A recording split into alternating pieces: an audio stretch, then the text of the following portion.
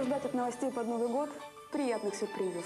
Новости 31-го будут очень любопытными. Мы будем такими, сами увидите. Слабонервным это лучше не смотреть. 31 декабря в 20.30 специально под Новый год. Новости четвертого канала.